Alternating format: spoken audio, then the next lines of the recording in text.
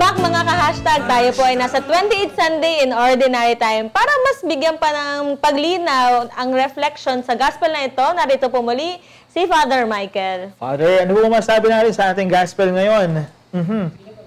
Ah, para sa akin, sa ah, sa akin ang pagninilay na ang biyaya ng ang biyaya ng Diyos, lalo-lalo na sa konteksto ng awa at biyaya niya na yan itinuturo ni ating Santo Papa, Papa Francisco, ay para sa lahat, kahit sino man pa man tayo, maka, ah, banal o makasalanan.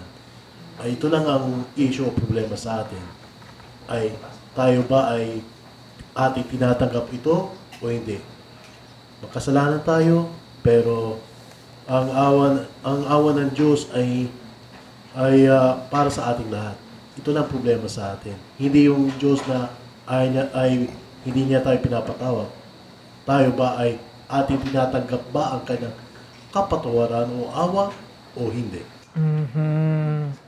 O nga, Father, no, sa pagninilay po natin, magandang itanong po natin sa ating kabataan ngayon na nandito, no, si Chian, no? Chian, paano mo ba ni welcome, no, yung invitation, no? O kaya, paano mo pinapasok ang God sa iyong buhay bilang isang kabataan?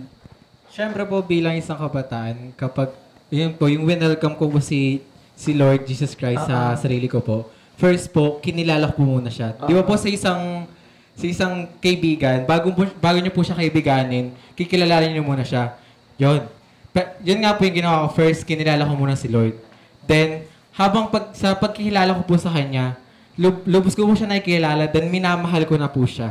Then after po sa, sa after po na, after ko po siyang minahal, 100% ko na po siya tinanggap sa sarili ko na siya po ang aking tagapagligtas at siya ang aking Diyos. At Alam- siya ang Oh, thank you, no? Thank you, Chian. Alam mo, minabanggit si Bishop Milo, eh, according sa gospel natin, kapag daw, meron daw tatlong klase ng invitation. Una, yung personal invitation na sinatawag, no? Una, kailangan tanggapin mo raw si Kristo sa iyong buhay. And later on, kapag natanggap mo na siya, ang susunod dito ay yung community, no?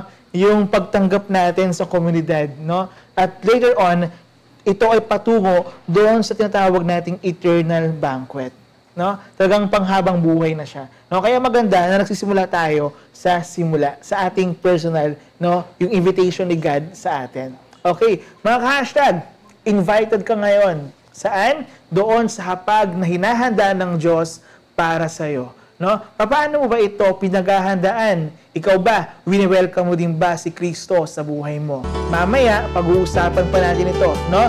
Dito sa pagbabalik ng ating favorite show, ang Hashtag Blessings! Our lives are gifts from above.